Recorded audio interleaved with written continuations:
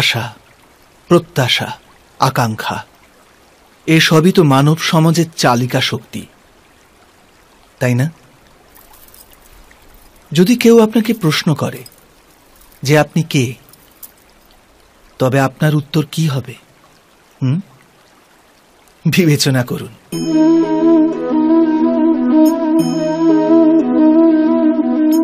আপনি তখন বুঝতে পারবেন যে আপনার ইচ্ছাই আপনার জীবনের ব্যাখ্যা। কিছু পাওয়ার সাফল্য, কিছু না পাওয়ার নিষ্ফলতাই আপনার পরিচয়। অধিকতর ব্যক্তি এইভাবে জীবিত। নিজের ভেতর থেকে শেষ হয়ে যেতে থাকে, তবু নিজের ইচ্ছেগুলোকে মারতে পারে না। ইচ্ছা তাকে এমনভাবে ছোটাতে থাকে যেমন মৃগের নেশায় শিকারী। কিন্তু আবার এই ইচ্ছাগুলির গর্ভ থেকেই জ্ঞানের প্রকাশও ঘটে। কি করে? যখন ইচ্ছা অপূর্ণ থেকে যায়, আশা ভেঙে যায়, তখন সেখান থেকে জ্ঞানের কিরণ প্রবেশ করে মানুষের হৃদয়ে। না, এই গাথা শুধু ইচ্ছাদের পরস্পর সংঘর্ষের নয় নয় মহতাকাঙ্ক্ষা থেকে জন্ম নেওয়া ভয়াবহ রক্তপাতের। এই গাথা হল ইচ্ছার গর্ভ থেকে উৎসারিত হওয়া জ্ঞানের।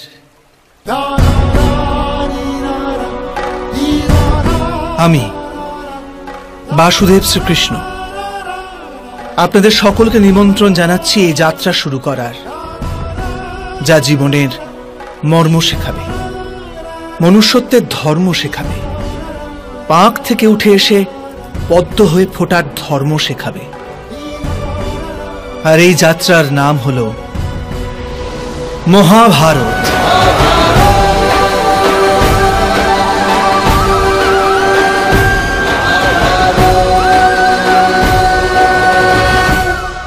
সন্তানের ভবিষ্যৎ সুখে ভরি তোলার চেষ্টা। এই তো প্রত্যেক মাতা পিতার প্রথম কর্তব্য, যাদের আপনি এই সংসারে এনেছেন, যাদের কর্মের দ্বারা এই জগৎ আপনারও পরিচয় পাবে ভবিষ্যতে। তাদের ভবিষ্যৎ সুখদায়ক করার চেষ্টার চেয়ে অধিক গুরুত্বপূর্ণ। আর কি বা হতে পারে?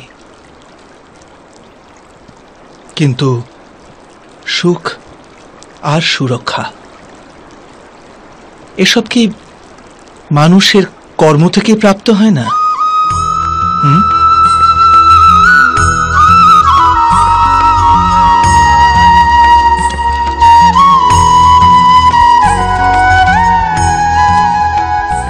মাতা পিতার দেওয়া ভালো বা মন্দ সংস্কার বা তাদের দেওয়া যোগ্য অথবা অযোগ্য শিক্ষা, এ সবই কি আজকে সমস্ত কর্মের মূল নয়? সংস্কার আর শিক্ষার থেকে তৈরি হয় মানুষের চরিত্র। অর্থাৎ মাতা পিতা নিজের সন্তানদের যেমন চরিত্র নির্মাণ করেন, তেমনই হয় তাদের ভবিষ্যৎ। কিন্তু তবু অধিকতর মাতা পিতা নিজেদের সন্তানের ভবিষ্যৎ সুরক্ষিত করার চিন্তায়। তাদের চরিত্র নির্মাণের কার্যের কথা ভুলেই যান। বস্তুত যে মাতা পিতা শুধু নিজের সন্তানের ভবিষ্যতের চিন্তা করেন, তাদের সন্তানদের কোনো লাভ হয় না। কিন্তু যে মাতা পিতা নিজের সন্তানের ভবিষ্যৎ নয়, তার চরিত্রের নির্মাণ করেন, সেই সন্তানের প্রশস্তে বিশ্ব সংসার করে। ভবিষ্যতের দ্বিতীয় নাম সংঘর্ষ। হৃদয়ে আজ যদি কোনো ইচ্ছা জাগে, যদি তা পূর্ণ না হয়, তবে হৃদয় ভবিষ্যতের পরিকল্পনা করে।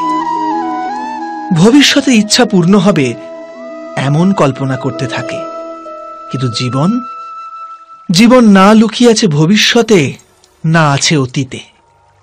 জীবনের হদিশ তো আছে এই ক্ষণে, অর্থাৎ এই মুহূর্তের অনুভবেই রয়েছে জীবনের অনুভব।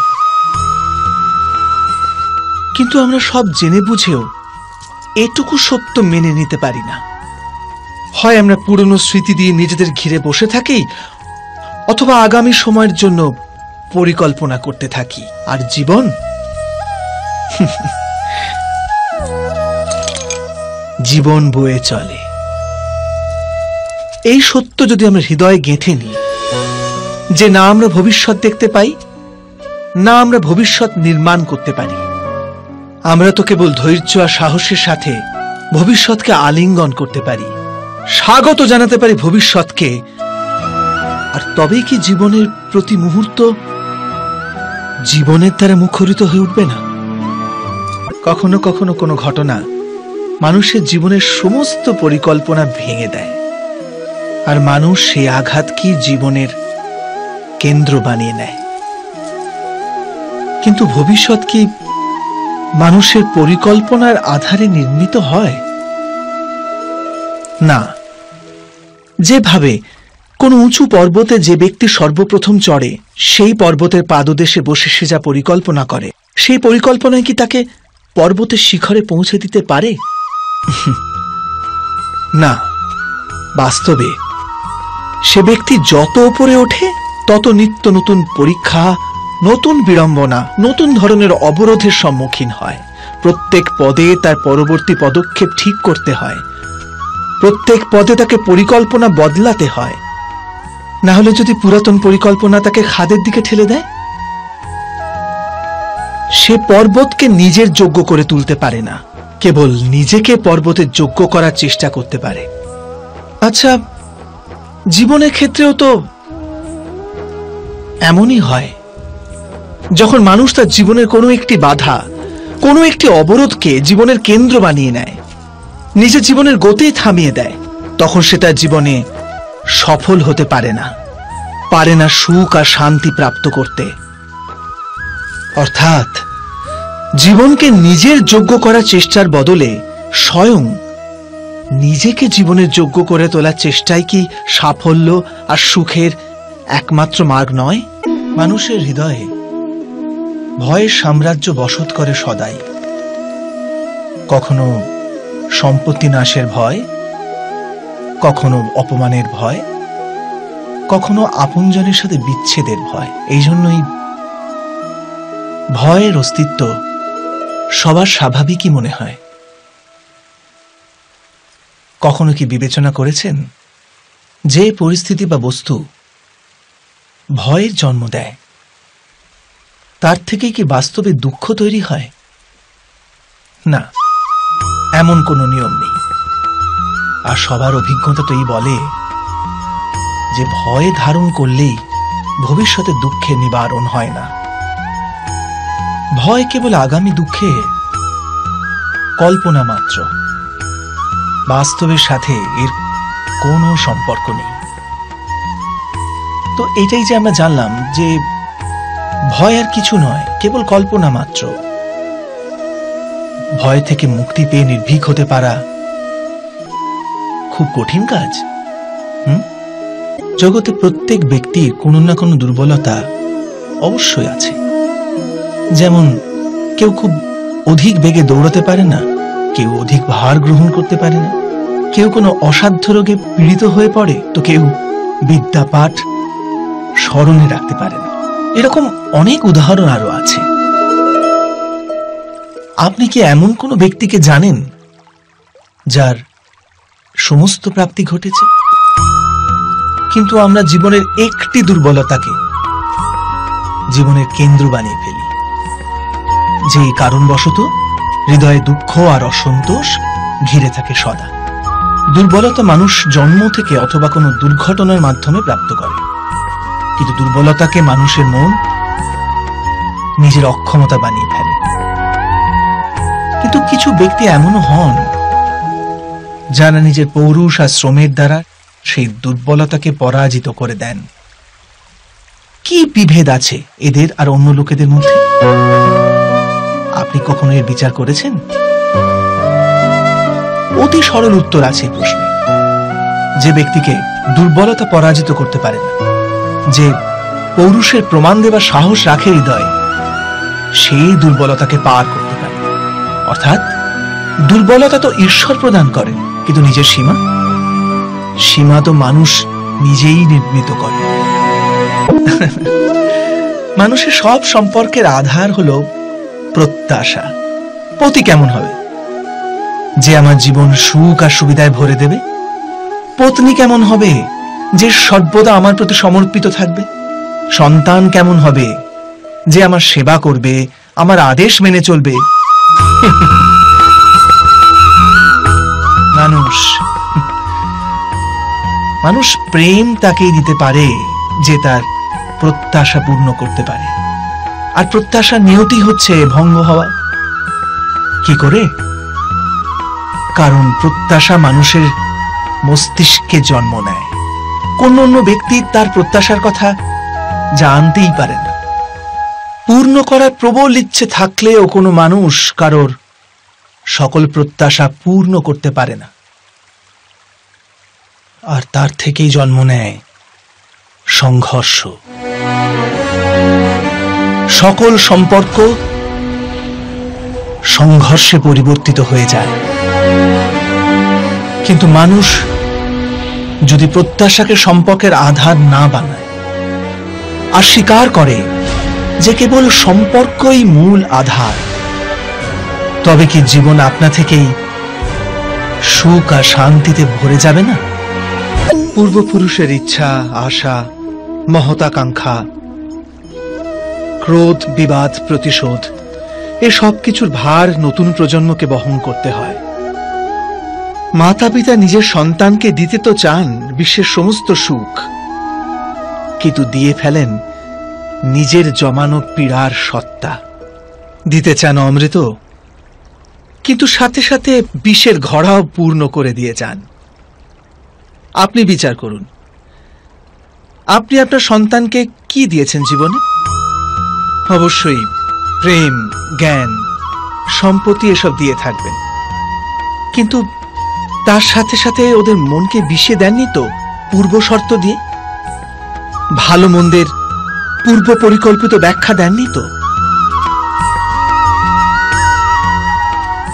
ব্যক্তির সাথে ব্যক্তির, সমাজের সাথে সমাজের, রাষ্ট্রের সাথে রাষ্ট্রের এই সংঘর্ষ পূর্ব ব্যাখ্যার থেকে নির্মিত নয় কি? হত্যা, মৃত্যু, রক্তপাত এসব কি পূর্ব ব্যাখ্যা থেকে জন্মায় না?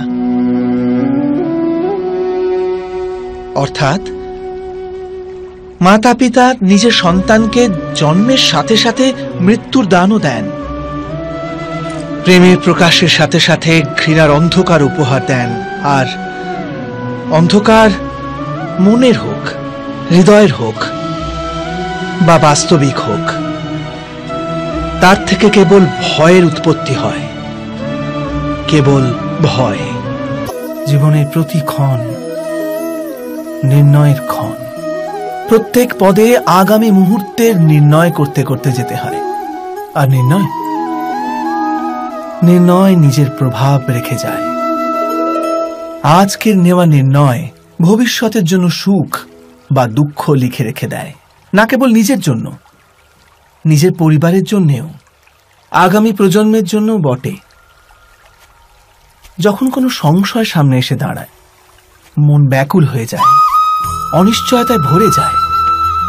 নির্ণয়ের সেই ক্ষণ এক যুদ্ধে পরিণত হয় আর মন হয়ে ওঠে যুদ্ধভূমি। অধিকাংশ নির্ণয় আমরা সংশয় থেকে বার হওয়ার জন্য নিই না। কেবল মনকে শান্ত করার জন্য নিয়ে থাকি। কিন্তু কেউ কেউ কি ছুটতে ছুটতে খাবার খেতে পারে? না। তবে কি যুদ্ধে জুঝতে থাকা কোনো মন সঠিক নির্ণয় নিতে পারে? বাস্তবে, শান্ত মনে যে ব্যক্তি নির্ণয় নেয়, সে নিজের জন্য সুখময় ভবিষ্যৎ নির্মাণ করতে পারে। কিন্তু নিজের মনকে শুধু শান্ত করতেই যদি কেউ কোনো নির্ণয় নেয়, তবে সে ব্যক্তি নিজের জন্য ভবিষ্যতে কাঁটা বৃক্ষ রোপণ করে। সময়ের প্রারম্ভ থেকে মানুষকে একটি প্রশ্ন সদাই পীড়া দেয়, যে তারা নিজের সম্পর্কগুলিতে অধিকতম সুখ আর ন্যূনতম দুঃখ কীভাবে লাভ করতে পারে। আচ্ছা আপনার সমস্ত সম্পর্ক কি আপনাকে সম্পূর্ণ সন্তোষ দিতে পেরেছে? বিচার করুন। আমাদের জীবন সম্পর্কের উপর দাঁড়িয়ে আছে। এ জীবনের সুরক্ষাও এই সম্পর্কের উপরে টিকে আছে। সেই কারণে আমাদের জীবনের সমস্ত সুখের আধারও এই সম্পর্ক। কিন্তু তবু আমাদের সম্পর্কগুলি থেকেই বেশিরভাগ দুঃখে জন্ম কেন হয়? সর্বদা সংঘর্ষ এই সম্পর্কগুলি থেকেই কেন উৎপন্ন হয়? কখনো বিচার করেছেন? যখন কোনো ব্যক্তি অন্য ব্যক্তির চিন্তাধারা বা কাজকে স্বীকার করে না, তার ভেতরে কোনো পরিবর্তন আনার প্রচেষ্টা করে। তখন সংঘর্ষের জন্ম হয়। অর্থাৎ, যত অধিক অস্বীকার, তত অধিক সংঘর্ষ। আর যত অধিক গ্রহণ ক্ষমতা, ততই অধিক সুখ। এটা বাস্তব নয়। যদি মানুষ স্বয়ং নিজের প্রত্যাশার উপরে অঙ্কুশ টানে, নিজের বিচারধারাকে পাল্টায় কোনো অন্য ব্যক্তিকে পাল্টানোর প্রচেষ্টা না করে স্বয়ং নিজের ভিতরেই পরিবর্তন আনার প্রয়াস করতে থাকে। তবে কি সম্পর্কতে সন্তোষ লাভ করা খুব কঠিন হবে? অর্থাৎ, স্বীকার করে নেওয়াই কি সম্পর্কের বাস্তবিক অর্থ নয়? দুই ব্যক্তি যখন নিকটে আসে, তখন তারা একে অপরের জন্য সীমা আর মর্যাদা নির্ধারণ করার চেষ্টা অবশ্যই করে। আমরা যদি সমস্ত সম্পর্কগুলিকে বিচার করে দেখি, এই সমস্ত সম্পর্কের আধার সেই সীমারেখা যা আমরা একে অপরের জন্য নির্মাণ করি। আর যদি অজান্তে সে দ্বিতীয় ব্যক্তি সেই সীমারেখা লঙ্ঘন করে, তাহলে সেই ক্ষণেই আমাদের হৃদয় ক্রোধে ভরে যায়। এই সীমারেখার বাস্তবিক রূপ কি? আমরা কি কখনো বিবেচনা করেছি? সীমা বেঁধে দিয়ে আমরা দ্বিতীয় ব্যক্তিকে নির্ণয় করার অনুমতি দিই না। নিজের নির্ণয় সেই ব্যক্তির উপর চাপিয়ে দিই। অর্থাৎ, তার স্বতন্ত্রতাকে অস্বীকার করি আমরা। আর যখন স্বতন্ত্রতাকে অস্বীকার করা হয়, তখন তার হৃদয় দুঃখে ভরে যায়। আর যখন সে সীমারেখা লঙ্ঘন করে, তখন আমাদের হৃদয় ক্রোধে ভরে যায়। এমনটাই হয় নাকি?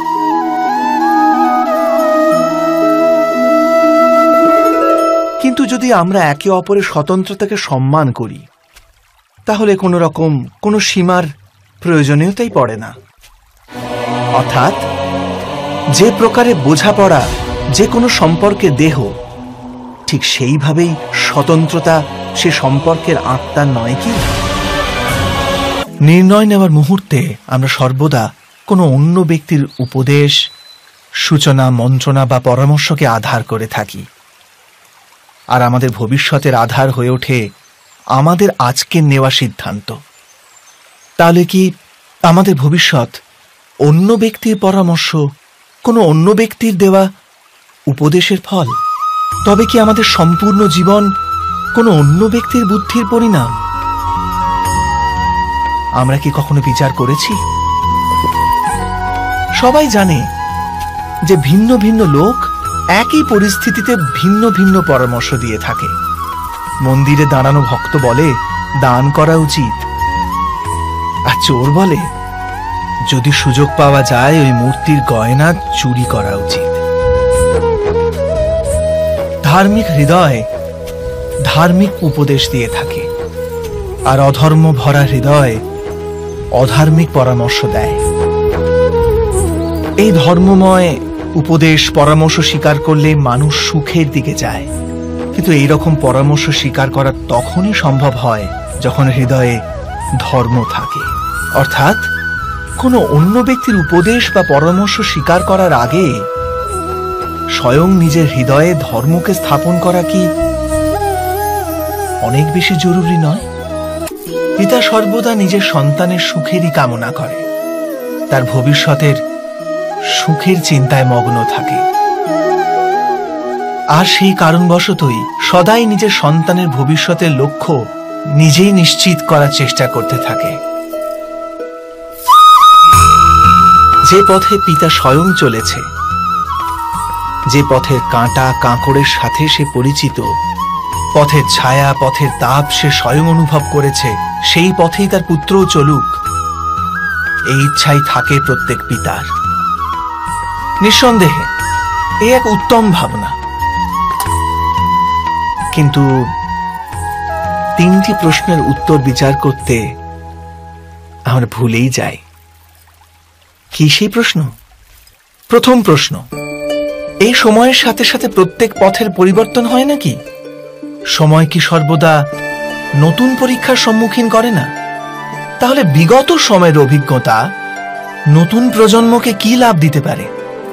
দ্বিতীয় প্রশ্ন, প্রত্যেক সন্তানই কি তার মাতা পিতার প্রতিচ্ছবি হয়? হ্যাঁ সন্তানকে তার শিক্ষা তো অবশ্যই তার মাতা পিতা প্রদান করেন, কিন্তু অন্তরের ক্ষমতা? অন্তরের ক্ষমতা ঈশ্বরের দান। তবে যে পথে চলে পিতা সাফল্য পেয়েছে, এটা কি নিশ্চিত যে সেই পথে চলে তার সন্তানও সাফল্য আর সুখ লাভ করতে পারবে? তৃতীয় প্রশ্ন জীবনে সংঘর্ষ আর পরীক্ষায় কি লাভ প্রদান করে না? প্রত্যেক নতুন প্রশ্ন কি এক নতুন উত্তরে দ্বার খুলে দেয় না? তবে কি সন্তানদের নতুন নতুন প্রশ্ন, সংঘর্ষ আর পরীক্ষা থেকে দূরে রাখলে তা কি তাদের পক্ষে খুব লাভজনক হবে, নাকি তাদের ক্ষতিই করবে? অর্থাৎ যেমনভাবে সন্তানের ভবিষ্যৎ নির্মাণ করার বদলে তার চরিত্রের নির্মাণ করাই শ্রেয়, তেমনি সন্তানের ভবিষ্যতের পথ নির্ধারণ করার বদলে তাদের নতুন নতুন সংঘর্ষের সাথে লড়াই করতে পারার মনোবল আর জ্ঞান প্রদান করা এটাই কি লাভজনক নয়? যখন কোনো ব্যক্তি কোনো ঘটনার ভিতরে অন্যায়কে দেখতে পায়, তখন সেই ঘটনা তার হৃদয়কে তছনছ করে দেয়। সমস্ত জগৎকে সে নিজের শত্রুরূপে জ্ঞান করতে থাকে। অন্যায় বলে মনে হওয়া সেই ঘটনা যত বিরাট হয়, মানুষের হৃদয়ও কিন্তু ততই বিরোধিতা করতে থাকে। সেই ঘটনার পরিপ্রেক্ষিতে সে ন্যায় দাবি করে। আর এটা তো যোগ্য কথা। বাস্তবিক সংসারে যে কোনো রকমের অন্যায়, ব্যক্তির আস্থা আর বিশ্বাসের বিনাশ করে। কিন্তু এই ন্যায় কাকে বলে? ন্যায়ের অর্থ কি? অন্যায় যে করেছে, সে যদি অনুতপ্ত হয়, আর যার উপর অন্যায় হয়েছে, তার মনে যদি আবার বিশ্বাস জাগে সমাজের প্রতি, তাকেই তো ন্যায় বলে। কিন্তু যার হৃদয়ে ধৈর্যের স্থান নেই, সে ন্যায়ের পথ ছেড়ে দ্বন্দ্ব আর প্রতিশোধের পথ বেছে নেয়। হিংসার বদলে প্রতিহিংসার ভাবনা নিয়ে সে এগিয়ে যায়। স্বয়ং যা পীড়া ভোগ করেছে, তার চেয়ে অধিক পীড়া অপরকে দেবার প্রয়াস করে। আর এই পথে চলতে গিয়ে অন্যায় যার উপর হয়েছে, সেই স্বয়ং অন্যায় করে ফেলে। শীঘ্র সে অপরাধী হয়ে যায়। অর্থাৎ, ন্যায় আর প্রতিশোধের মধ্যে খুব ক্ষুদ্র ফারাক থাকে। আর সেই ফারাকের নামই হল ধর্ম। এটা কি সত্য নয়? সবার জীবনে এমন মুহূর্ত অবশ্যই আসে যখন সত্য বলার নিশ্চয়তা থাকে হৃদয়ে, কিন্তু মুখ থেকে সত্যটা বেরোতেই পারে না। কোনো ভয় মনকে এমনই ঘিরে রাখে। কোনো ঘটনা বা প্রসঙ্গ সম্পর্কে কথা বলা, অথবা নিজের কোনো ভুল হয়ে গেলে সেই সম্বন্ধে কথা বলা, এটাই কি সত্য কথা বলা? না, এ তো কেবল তথ্যটুকু। অর্থাৎ, যেমন ঘটেছে, শুধু সেইটুকু ব্যক্ত করা। এ সামান্য ব্যাপার। কিন্তু কখনো কখনো সেই তথ্যটুকু বলতে গিয়েও ভয় হতে থাকে। কখনো আবার অন্য ব্যক্তি কি ভাববে, সেই দুশ্চিন্তা হয় মনে। অন্য কারও দুঃখ হবে, এই ভয়টাও সত্যকে আটকায়। তবে এই সত্য কাকে বলে? আমরা কি কখনো বিবেচনা করেছি? যখন ভয়কে তুচ্ছ করেও কোনো তথ্য বলে দেওয়া হয়, তবে তাকে সত্য বলা হয়। বাস্তবে সত্য আর কিছুই না, কেবল নির্ভীকতারই অপর নাম। আর নির্ভীক হওয়ার কোনো সময় হয় না, কারণ নির্ভীকতা আত্মারই এক স্বভাব। অর্থাৎ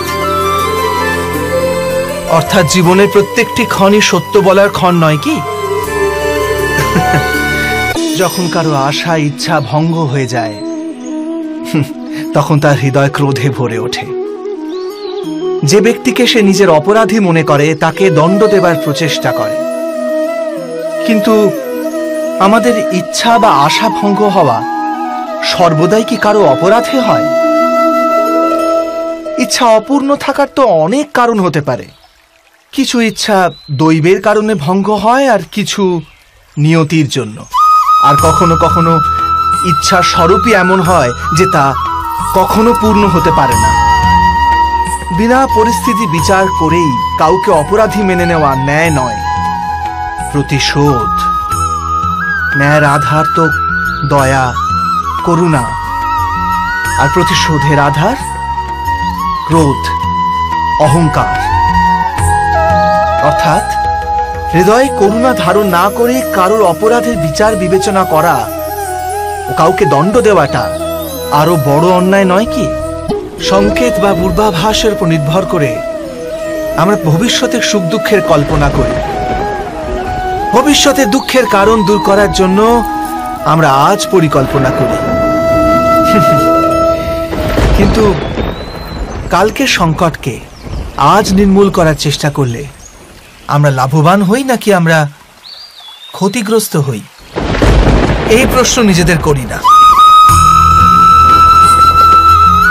সত্য তো এটাই যে সংকট আর তার নিবারণ একসাথে জন্ম নেয়।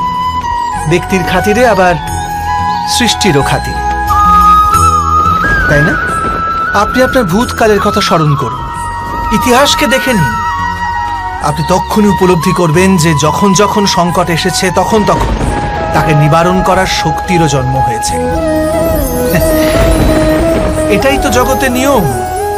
অর্থাৎ সংকটই শক্তির জন্মের কারণ। প্রত্যেক ব্যক্তি যখন সংকট থেকে বেরিয়ে আসে, তখন সে এক পদ আগে এগিয়ে যায়। অধিক উজ্জ্বলতা, অধিক আত্মবিশ্বাস লাভ করে না কেবল নিজের জন্য। সমগ্র বিশ্বের জন্য বটে। এটা কি সত্য নয়? বাস্তবে, সংকটের জন্ম মানে একটি সুযোগের জন্ম। নিজেই নিজেকে বদল করার, নিজের চিন্তাধারাকে আরও উঁচুতে নিয়ে যাওয়ার সুযোগ, নিজের আত্মাকে অধিক বলবান আর অধিক জ্ঞানমণ্ডিত করার সুযোগ। যে এটা করতে পারে, তার কোনো সংকট আসে না, কিন্তু এমনটা যে করতে পারে না সে তো স্বয়ংই এক সংকট হয়ে পড়ে বিশ্বের জন্য। পরম্পরার মধ্যে ধর্মের অবস্থান আর প্রথাই ধর্মকে ধরে রাখা দায়িত্ব বহন করে, এটা সত্যি। কিন্তু কেবল প্রথাকেই কি ধর্ম বলে? বিবেচনা করুন। সত্য তো এই যে যেমন ভাবে পাষাণের ভেতরে শিল্প থাকে, ঠিক তেমনি প্রথার মধ্যেও ধর্মকে পাওয়া যায়। এই পাথরের মধ্যেও শিল্প আছে। এই পাথরটাই শিল্প নয়।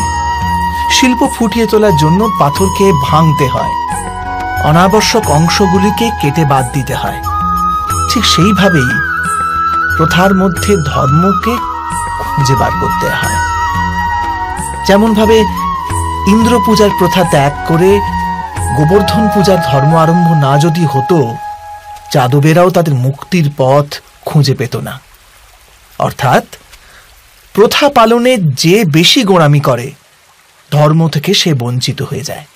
আর পরম্পরার অন্ধ অনুকরণ যে করে, সেও প্রকৃত ধর্মপরায়ণ হতে পারে না।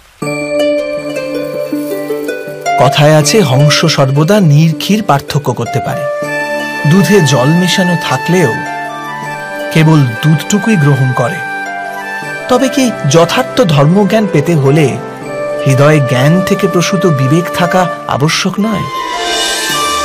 আর সেই বিবেক না থাকলে, যাকে আমরা ধর্ম বলে মনে করছি, তা আসলে প্রকৃত ধর্মই নয়। এমনও তো হতে পারে, ভবিষ্যৎকে আধার করে সবাই আজকে নির্ণয় করতে চায়। ভবিষ্যতে সুখ লাভ হবে, ভবিষ্যৎ সুরক্ষিত হবে। এমন নির্ণয় আজ করার প্রয়াস করতে থাকে সবাই। আপনি নিজের জীবনেই দেখুন। আপনার অধিকতর নির্ণয়ের মূলে ভবিষ্যতের চিন্তা থাকে না? আর কেনই বা হবে না? নিজের জীবনকে সহজ ও সুখময় বানিয়ে তোলার প্রচেষ্টা করার অধিকার সবার আছে। কিন্তু ভবিষ্যৎ তো কেউ জানে না। কেবল কল্পনাই করা যেতে পারে। তবে জীবনের সমস্ত গুরুত্বপূর্ণ নির্ণয় কল্পনার ওপর নির্ভর করেই আমরা করি। এই নির্ণয় করার কোনো তৃতীয় পথ হতে পারে? বিবেচনা করুন। সমস্ত সুখের আধার ধর্ম, আর সেই ধর্ম মানুষের হৃদয়ে স্থাপিত। অতএব প্রত্যেক নির্ণয়ের পূর্বে স্বয়ং নিজের হৃদয়কে প্রশ্ন অবশ্য করে নিন যে এই নির্ণয় স্বার্থ থেকে জন্মেছে না ধর্ম থেকে। এটুকুই কি যথেষ্ট নয়? ভবিষ্যতের বদলে ধর্মের বিচার করলে কি ভবিষ্যৎ অধিক সুখময় হয়ে উঠবে না? মানুষ যখন তার অপরাধে দণ্ড ভোগ করে তখন হতে পারে সেই ন্যায় বিচারে তার মনে কষ্ট হয়। প্রশ্ন ওঠে তার হৃদয়ে যে, যখন সে অপরাধ করেছিল, তখন সে ভিন্ন ব্যক্তি ছিল। তারপর সে অনেক অনেক অনুতাপ করেছে। নিজেকে এত পরিবর্তন করেছে। তবু সে দণ্ড কেন পাবে? কিন্তু যেখানে আঘাত আছে, সেখানে প্রত্যাঘাতও থাকবে। যেমন কর্ম, তেমনি ফল। যদি কাউকে স্নেহ দাও, তবে সুখ লাভ হবে। যদি কাউকে হত্যা করো, তবে মৃত্যুদণ্ড পাবে। যেমন কার্য, তেমনি ন্যায় হয়। তবে কি প্রায়শ্চিত্ত বা অনুতাপের কোনো মূল্য নেই? আছে, অবশ্যই মূল্য আছে। প্রায়শ্চিত্ত, অনুতাপ মানুষকে অন্তর থেকে বলবান করে তোলে। আসন্ন শাস্তিকে গ্রহণ করার জন্য মানুষকে প্রস্তুত করে। অর্থাৎ প্রায়শ্চিত্ত না করে দণ্ড স্বীকার করার কোনো মূল্য আছে? যখন নিজের কোনো ভালো কাজের বদলে দুঃখ লাভ হয়, অথবা কেউ দুষ্কর্ম করেও সুখ লাভ করে, তখন মন অবশ্যই এটা ভাবতে বসে যে তাহলে ভালো কর্ম করার, ধর্মের পথে চলার তাৎপর্যটা কি? কিন্তু দুরাত্মাকে কি ভোগ করতে হয় সেটাও দেখুন। দুষ্কর্ম যে করে, তার হৃদয় সর্বদা চঞ্চল থাকে, ব্যাকুল হতে থাকে। মনে সর্বদা নতুন নতুন সংঘর্ষ উৎপন্ন হয়। অবিশ্বাস তাকে সারা জীবন ছোটাতে থাকে। একে কি সুখ বলে? যে ব্যক্তি ধর্মের পথে চলে, সর্বদা সুকর্মে রত থাকে। সৎ চরিত্র ব্যক্তির হৃদয় সর্বদা শান্ত থাকে। পরিস্থিতি তার জীবনে সুখের পথে বাধা হয়ে দাঁড়ায় না। সমাজে তার সম্মান ও মনে সন্তোষ অক্ষত থাকে সর্বদা। অর্থাৎ ভালো ব্যবহার ভবিষ্যতের সুখের পথ দেখায় না। ভালো ব্যবহার নিজেই সুখ দেয়। অথবা দুর্ব্যবহার ভবিষ্যতে দুঃখের পথ দেখায় না। অধর্ম সেই মুহূর্তে দুঃখকে উৎপন্ন করে। ধর্ম থেকে সুখ পাওয়া যায় না। ধর্মই স্বয়ং সুখ। মানুষের জীবনের চালক হল ভয়। মানুষ সর্বদা ভয়ের কারণ ঠিক খুঁজে নেয়। জীবনে যে পথ আমরা বেছে নিই, সেই বেছে নেওয়ার পিছনেও আমাদের ভয়ই কাজ করে। কিন্তু এই ভয় কি বাস্তবিক? বিবেচনা করুন।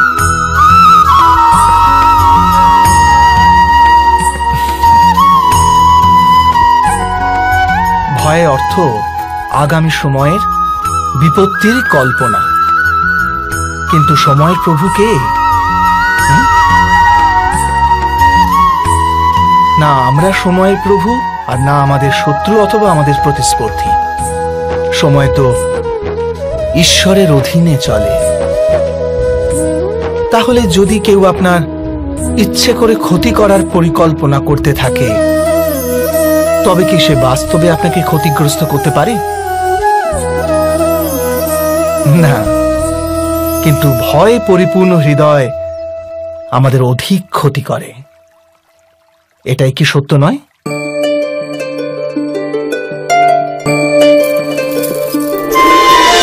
বিপত্তির সময়ে ভয় ভীত হৃদয় যথার্থ নির্ণয় করে না, অতএব বিপত্তিকে অধিক পীড়াদায়ক বানিয়ে তোলে। কিন্তু বিশ্বাসে পরিপূর্ণ হৃদয় বিপত্তির মুহূর্তকেও সরলভাবে পার করতে পারে। অর্থাৎ, যে কারণে মানুষ হৃদয়ে ভয়কে স্থান দিয়ে থাকে, ভয় ঠিক তার বিপরীত কার্য করে। এটাই কি সত্য নয়? জীবনে আসন্ন সংকটের সম্মুখীন হওয়ার জন্য মানুষ যখন নিজেকে অযোগ্য মনে করে, যখন তার নিজের শক্তির উপর বিশ্বাস থাকে না, তখন সে সদ্গুণ ত্যাগ করে দুর্গুণ আপন করে নেয়। সম্ভবত মানুষের জীবনের কলুষ বৃত্তি তখনই জন্ম নেয় যখন তার অন্তরে আত্মবিশ্বাস থাকে না। আত্মবিশ্বাসী শিষ্টের ধারণ করে। এই আত্মবিশ্বাস কাকে বলে?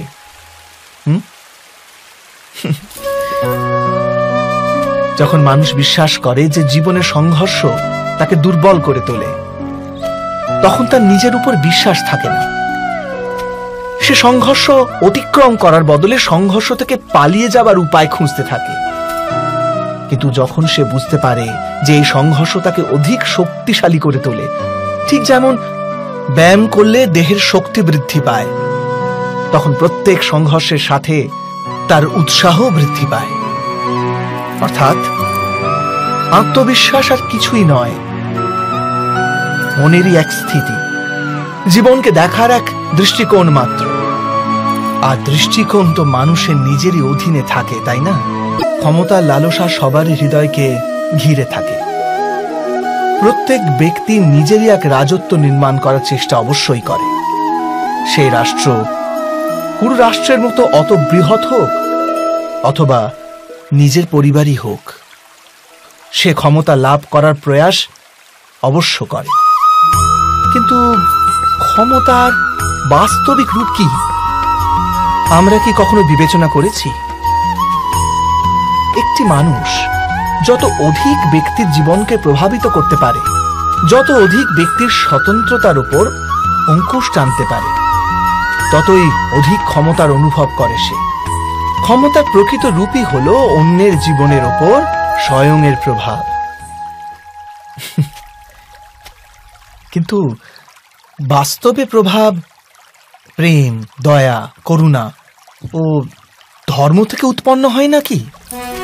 যখনই মানুষ কঠোরতা আর অধর্মের মাধ্যমে ক্ষমতা প্রাপ্ত করার প্রয়াস করে, তখনই সে অন্যের হৃদয় বিরোধিতা অথবা বিদ্রোহের জন্ম দেয়। আর পরিণাম? পরিণাম অনেকটা এই রকম। হ্যাঁ কিছু সময়ের জন্য সে নিজের প্রভাব ও শক্তির বিকাশ অবশ্য অনুভব করে, কিন্তু তা বাস্তবিক ক্ষমতা নয়। এই কারণে ভৃগু আর বশিষ্ঠের মতো ঋষিদের আজও পূজা করা হয়। রাবণ বা হিরণ্যকশিপুদের নয়। একটি শিশু যখন পৃথিবীতে জন্ম নেয়, তখন সে সম্পূর্ণভাবে সংস্কার মুক্ত হয়। তখন তার অন্তরে না কোনো সুসংস্কারের চিহ্ন অঙ্কিত থাকে, না কোনো অপসংস্কারের। অর্থাৎ জন্মের সময় বালকের মধ্যে না কোনো গুণ থাকে, না কোনো দোষ। তবে দোষ অথবা গুণ কিসের ভিত্তিতে লাভ হয়? আমরা কি কখনো ভেবে দেখেছি? হুম? যে কথা মাতা পিতার মুখে নিরন্তর শোনা যায়, সেসব কথাই তাদের সন্তানের হৃদয়ে সংস্কারের রূপ নেয়। যেমন, কোন গ্রামে নদীর তট অব্দি একটা আলপথ আপনি নির্মিত হয়, কেবল সেই পথে বারবার চলার দরুন। অর্থাৎ মাতা পিতার হৃদয়ের ইচ্ছাই তাদের সন্তানের হৃদয়ে দোষ অথবা গুণ হয়ে জন্ম নেয়। এটাই কি সত্য নয়? কিন্তু তবু, যখন তাদের সন্তানের মধ্যে কোনো দোষ দেখা যায়, তখন মাতা পিতা আশ্চর্য ও দুঃখিত হয়ে পড়েন। মাতা পিতা হৃদয়ে এই প্রশ্নই করে যে, তাদের সন্তানের মধ্যে এই অপসংস্কার এলো কেমন করে?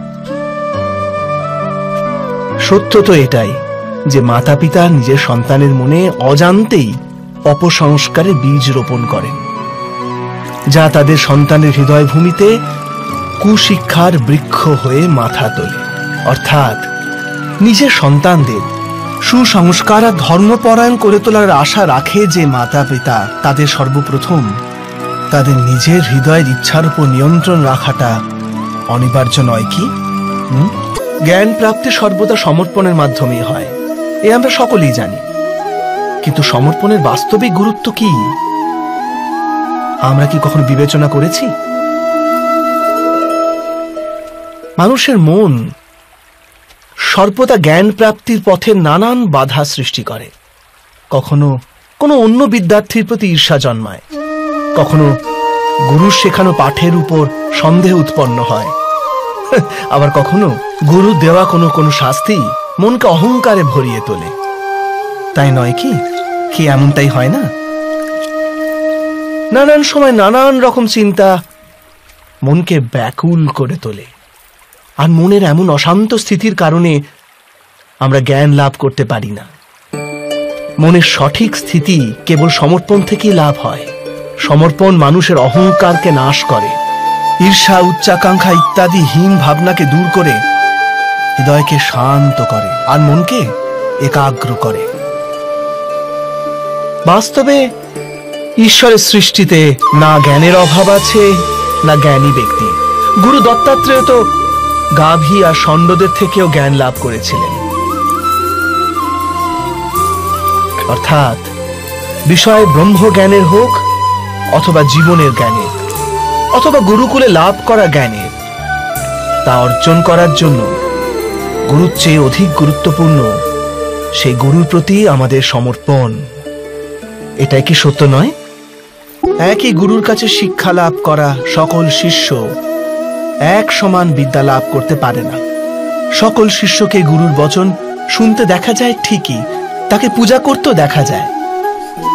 কিন্তু তারা সমান বিদ্যা লাভ করতে পারে না।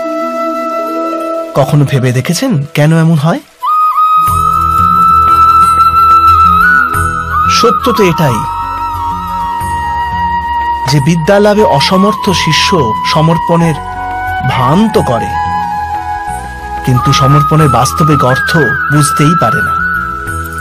গুরুর চরণে ফুল নিবেদন করলে অথবা গুরুর আদেশ শুধু পালন করলে কি সমর্পণ প্রমাণ করা যায়? না।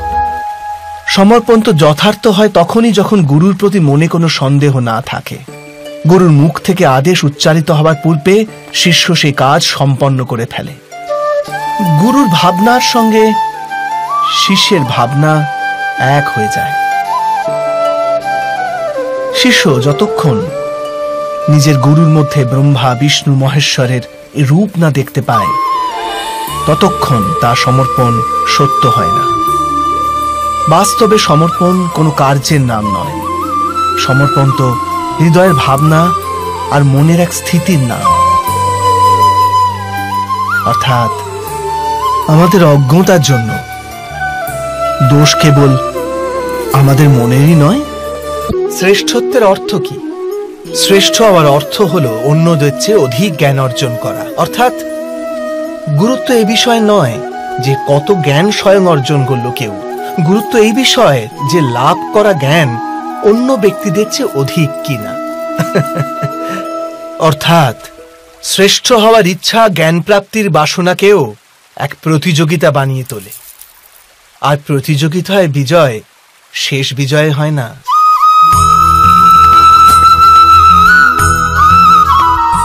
কিছু সময়ের জন্য শ্রেষ্ঠ অবশ্যই হওয়া যায়। কিন্তু সর্বদা কেউ কখনো শ্রেষ্ঠ থাকতে পারে না। তারপর আবার অসন্তোষ, পীড়া আর সংঘর্ষের সৃষ্টি হয়।